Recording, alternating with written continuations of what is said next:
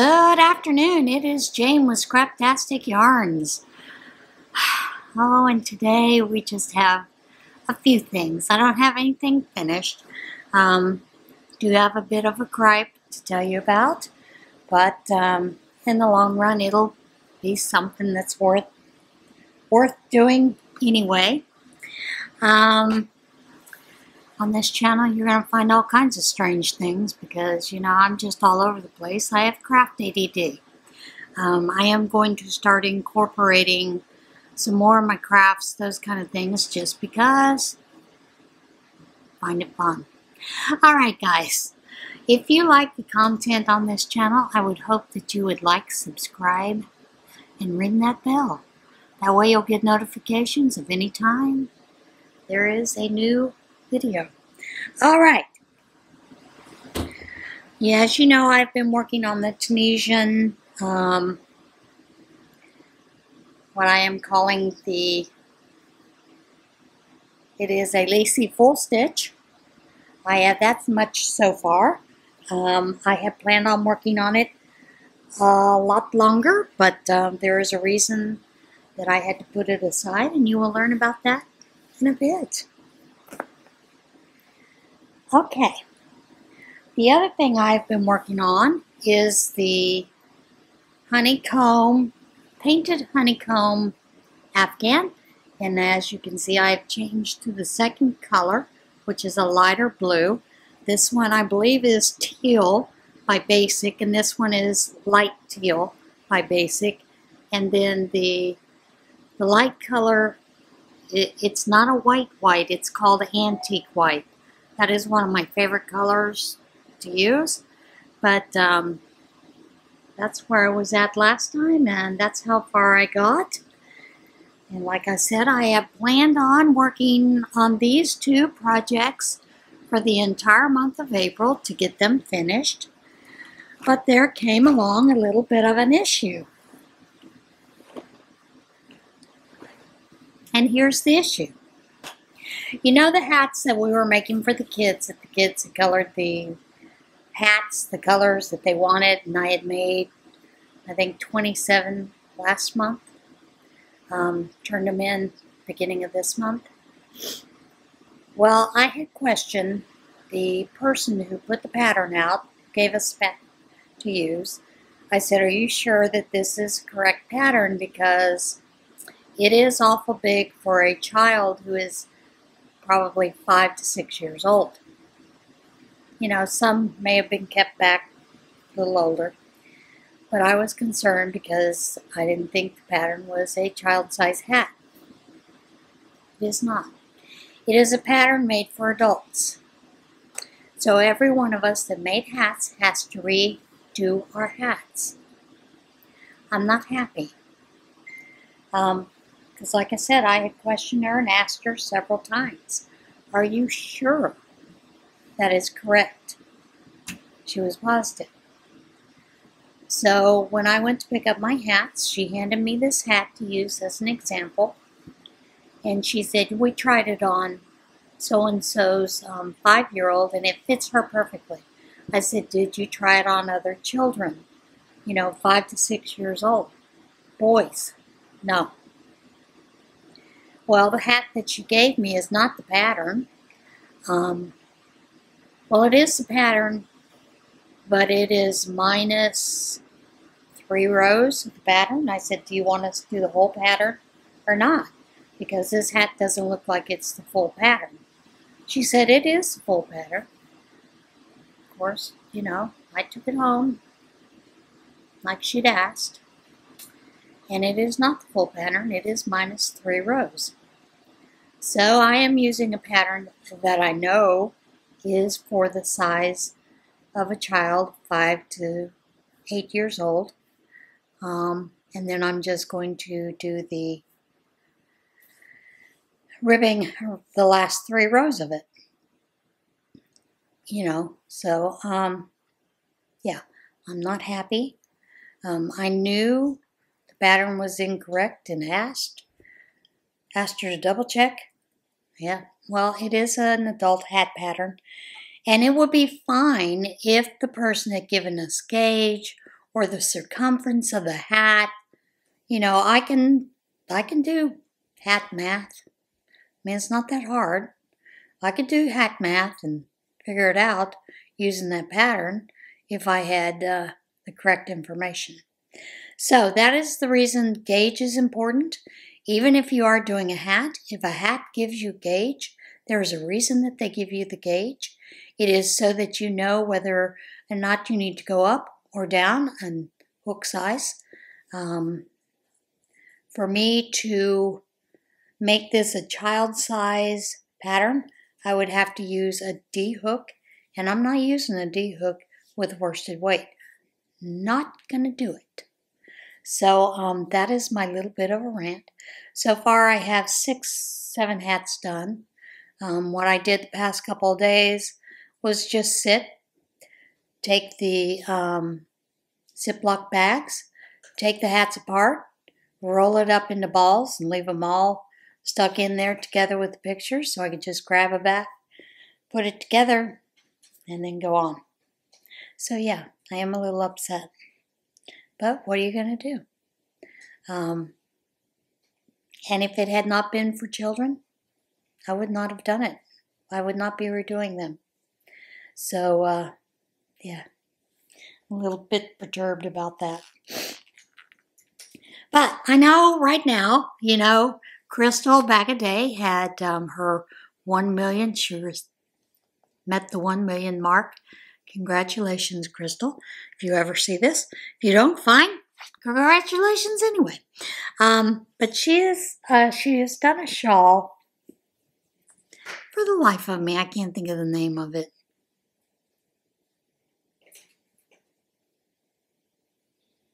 But it's one of those very complex shawls.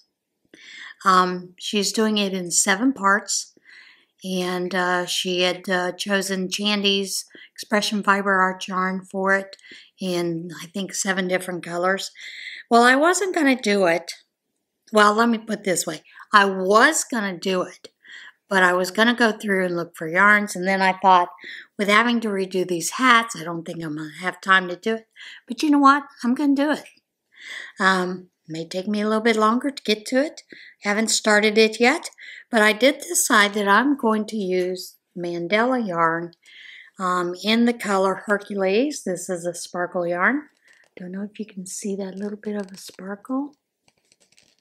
Hopefully the camera will catch it. It does have a little bit of sparkle in it. I don't know that I'm going to color color control it. I think I'm just going to let it work up the way that it is going to. I have quite a few of these in the Hercules. Um, when Walmart had marked them down to a dollar, I picked up every single one of them that they had for a dollar. Whether it was Hercules, Wizard, um, Chimera, whatever it was, I picked up every one of them. So, um, I do have quite a few of these in the Hercules color, and I'm going to use that color to make that shawl. What do I want? I want to call it something in my mind. I swear. I'll put it up on the screen if I can remember what she's calling it.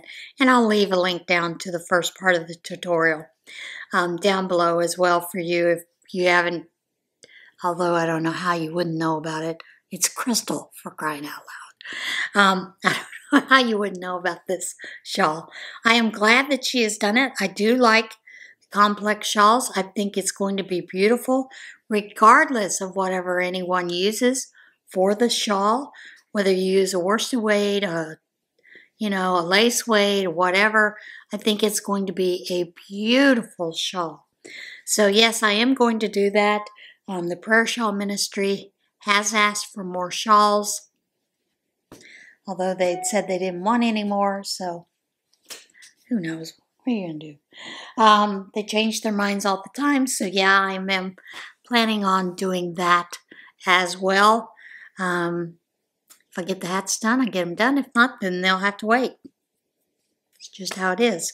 And you know, I had been working on my shirt out of that comfy cotton, and that is put on a back burner again, once again. I had asked for a lot of um, your suggestions on how you keep track of your WIPs and those kind of things. I have not gotten to the comments yet simply because of the things that I have been doing in and around the house. Spring is coming, so I want to plant a few plants and uh, mostly container gardening um, simply because we don't have the topsoil yet. Um, I don't know if eh, many of you know, my contractor and I have had some issues. I've asked him to correct a few things. He's not corrected them yet.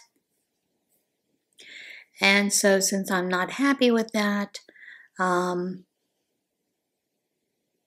let me put this way. He had sent me a bill saying that I owed him a quarter of a million dollars. And I said, I don't think that's correct.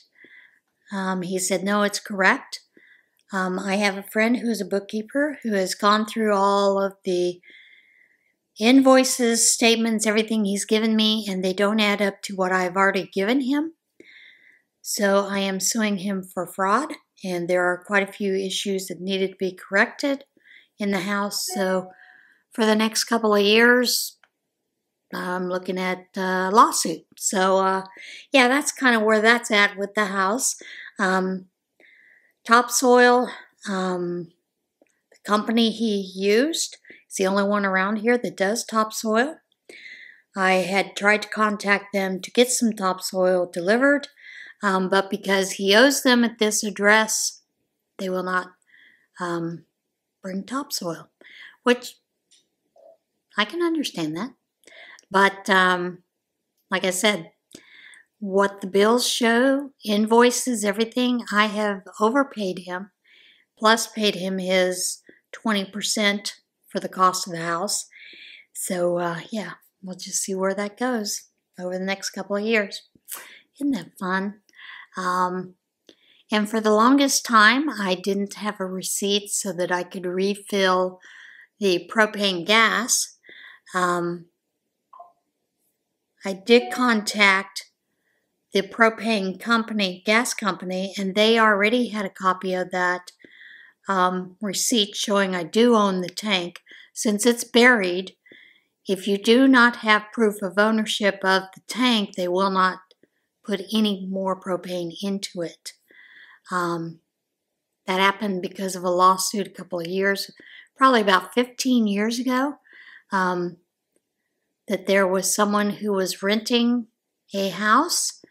They had had the propane tank refilled, paid for it, but the landlord um, wanted them evicted.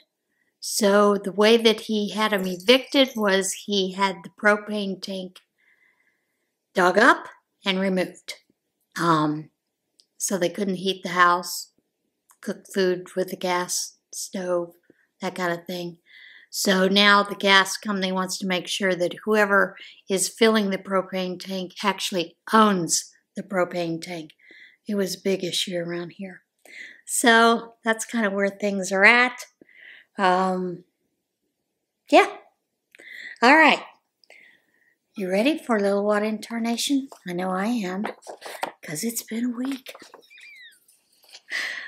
Comic featuring Superman's debut Sells for record breaking $6 million. How I wish I'd have kept mine.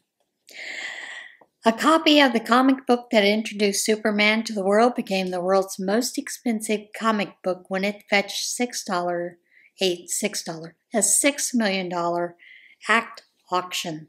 Heritage Auction said the copy of Action Comics number one, the 1938 comic book featuring the first appearance of Superman, attracted a record-breaking high bid of 6 million at Thursday's auction. And yes, I did have a copy of it. My father had it and left it to me. The comic book featuring the iconic Man of Steel on its cover was inspected by collectible grading service CGC and given a grade of very fine plus 8.5, making it the third highest graded copy of Action Comics number 1 known to still exist. CGC said only about 100 copies of the comic are believed to still exist, as the service has only graded 78 copies over the years. The comic was published by National Allied Publications, the predecessor to the modern day DC Comics. Previous record for the most expensive comic book was a copy of Superman number 1 that sold privately for 5.3 million in 2022.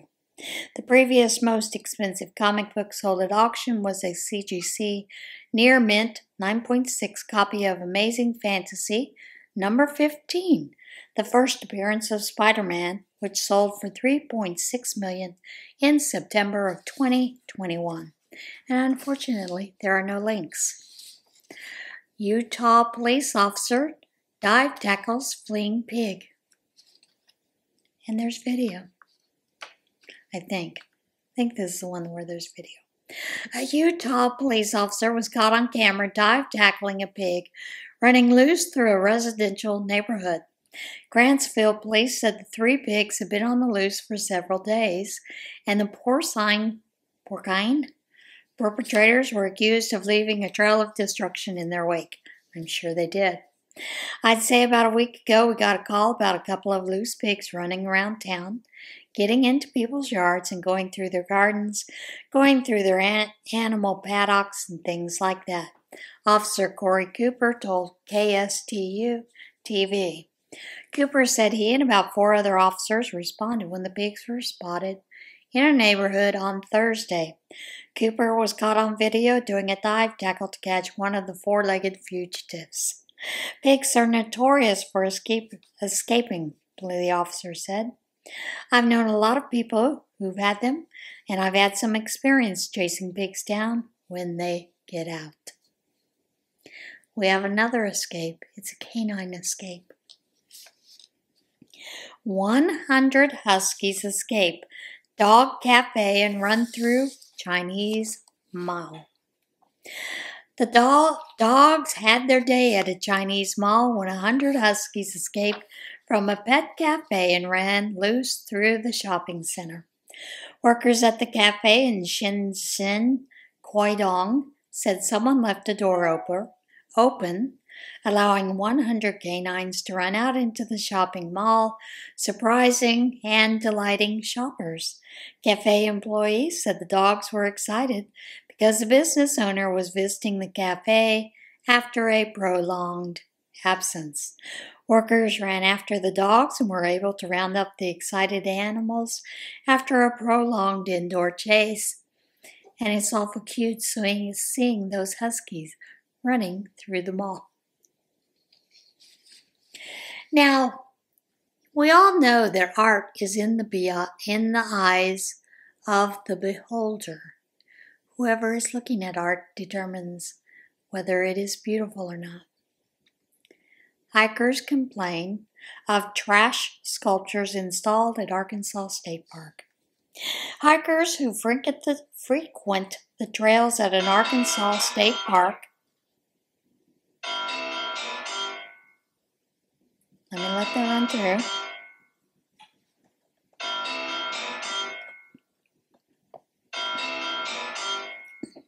Sorry about that. Didn't didn't silence my phone.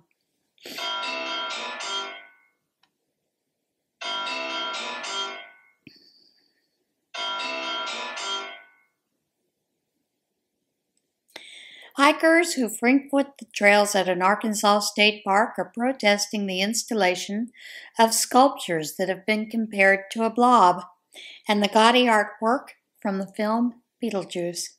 A petition that amassed nearly 3,000 signatures on change.org calling for the Arkansas Department of Parks and Tourism to stop installing sculptures by the side trails of Pinnacle Mountain State Park and other state parks.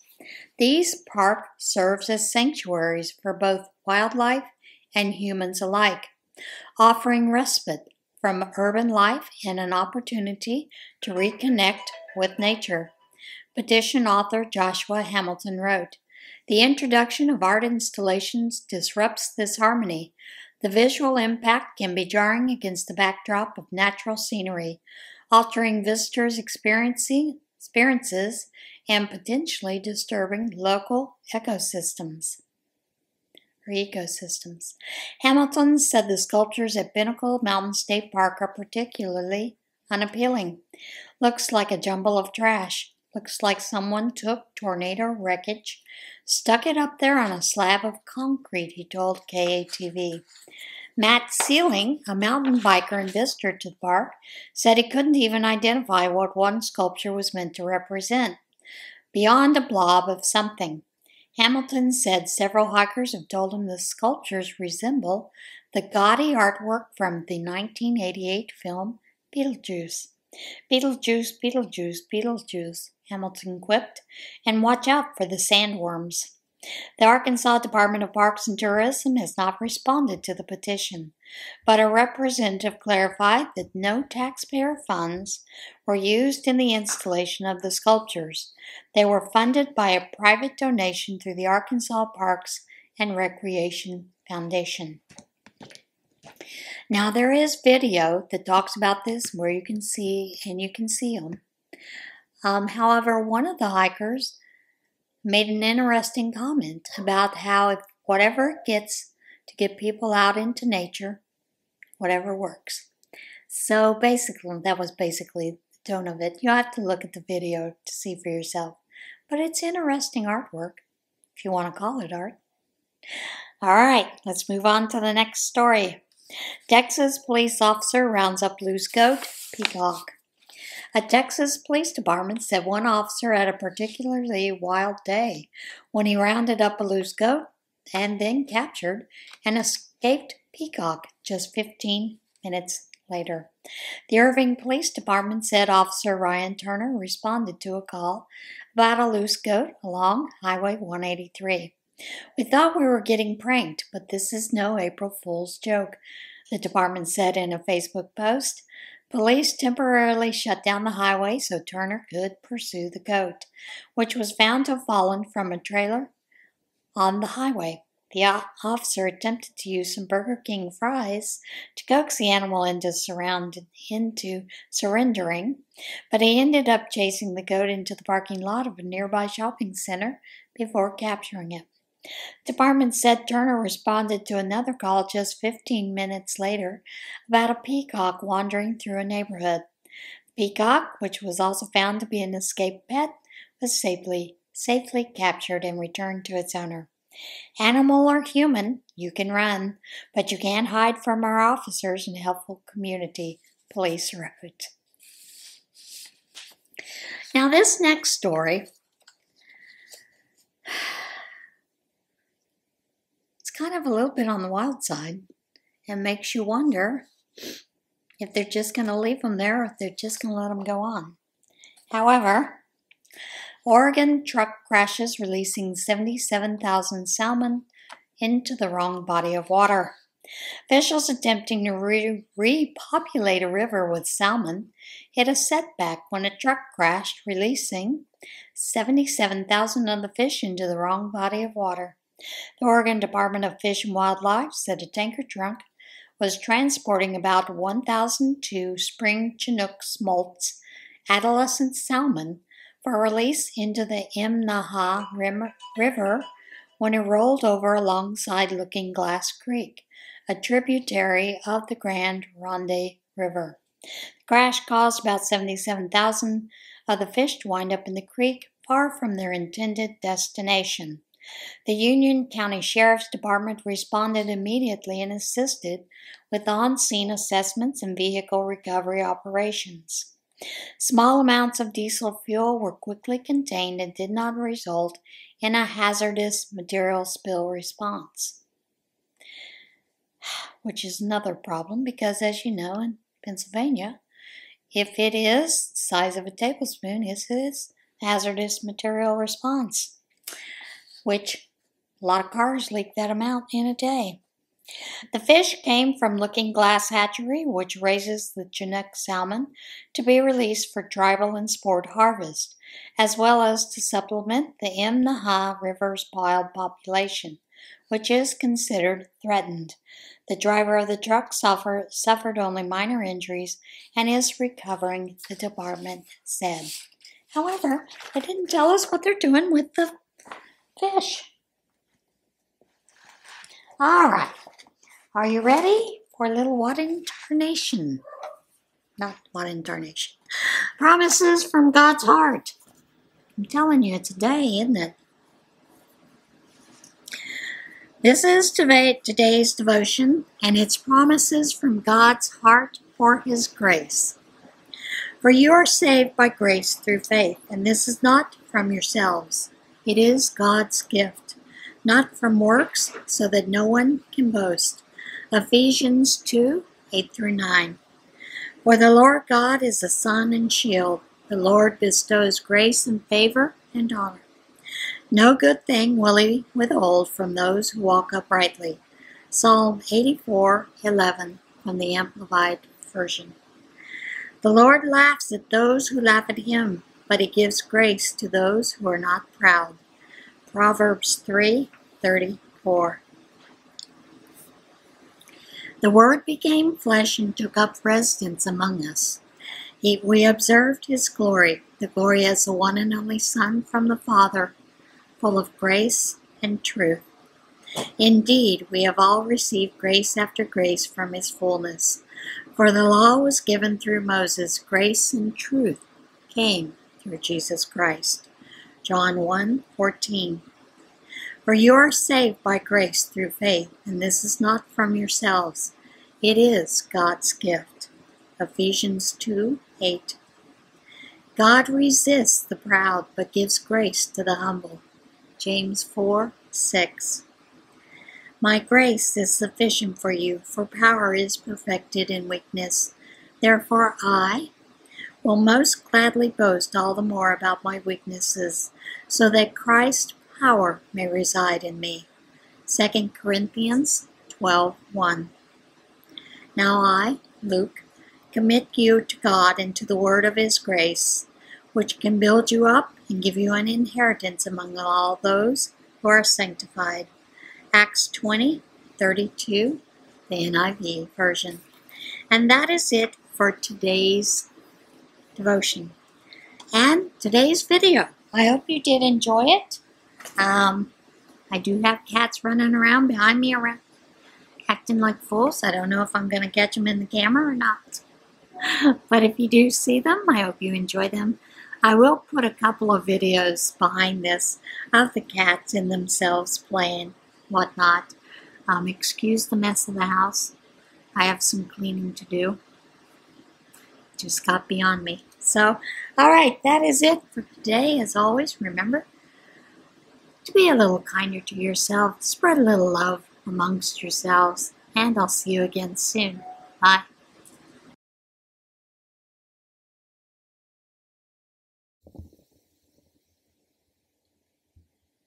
You see that silly cat? Baby blanket. This is using a size I crochet hook. And I'm using, both of these were done doing Pound of Love, one in soft mint and one in soft pink. Or maybe this is just pink. It could just be mint and pink. I don't know. Let's look at the ball bands for another video. Pastel green and pink.